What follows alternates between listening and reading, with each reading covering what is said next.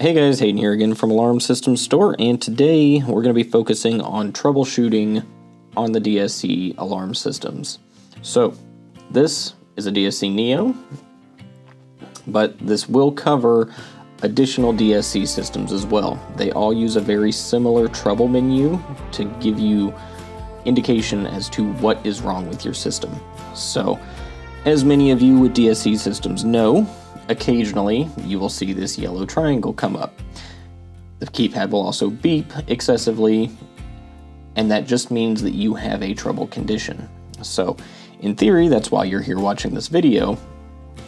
But I do want to warn you, this video is not going to cover any particular troubles specifically. This video is an intro video on the trouble menu, and what we are going to do is provide short videos for every trouble that we can create on this system. So hopefully by the end of this little series, we will have a video for every trouble condition and what steps you can take to try to fix it. So let's just go ahead and jump in uh, to what we got going on here. Um, first off, this troubleshooting guide. Up here under the troubleshooting, it says how to get into the trouble menu and how to navigate it. Um, it's not super explanatory, which is why I'm going to demonstrate it on the keypad here in a minute. But below that, it gives all of the troubles you will see on the alarm system. Now, I will say this guide was made a little while ago when the system first came out, and this is for the Neo, like I mentioned, but some of the terms may have changed, some of the wording, um, so it may not look exactly like this, but just go check our video and it will give you whatever the most up-to-date listing for that trouble is. On subsequent pages of this little manual, it does give you troubleshooting steps for each type of trouble. I will tell you that a lot of these are very short descriptions and they may not mean a whole lot to you if you're not familiar with the systems. So it can be helpful, but it can also just get you nowhere if you don't know what you're reading. So that's why we're doing this little mini series of troubles. Hopefully we can give a general cover off for all troubles and what to do to fix them. So first off, I'm just going to jump into the keypad and we're going to learn how to navigate the trouble menu. So if you have a trouble condition on your system, you will always see this screen pop up.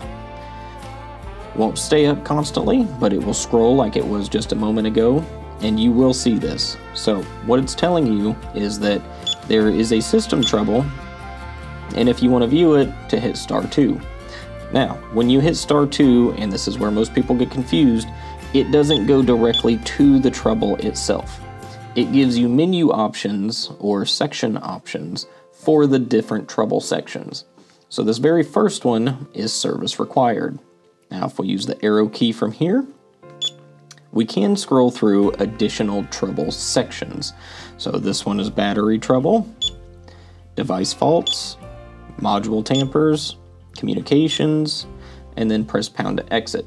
Anytime you see the press pound to exit, what that means is you've reached the end of that menu layer. So what we can do is just go back to our service required. That is our first section of troubles.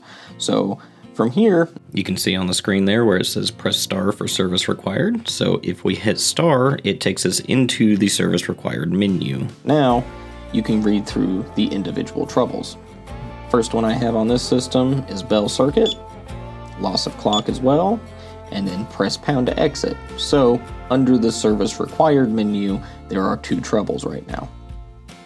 So if we hit pound, it takes you back one page. The pound doesn't just take you back to the main menu. On a DSC, if you're unfamiliar, star is basically the enter button, pound is basically the back button. So we went back one step. Now we're still in the trouble menu, we're just at the section title part of it, the very first layer. Oh, and perfect example of Another thing that people run into when trying to check troubles, the trouble menu is a timed menu. So since we just let it sit there without pressing anything, it actually went back to the regular scrolling through the menu screen so that you can, you know, see what zones are open, see your system status, blah, blah, blah. So if we want to go back into trouble menu, hit star two, And now we're going to go over and look at battery trouble. If you hit star on there, says no battery system area. Now, as you can probably guess, I just don't have a battery hooked up to this system, and that's what I used to cause this trouble so that you guys could see it. So if I hooked a battery up, that would fix this problem. There may be additional battery troubles that come up after you attach it, like a low battery, for example. And in those cases, you just got to let it charge and eventually it will clear. So,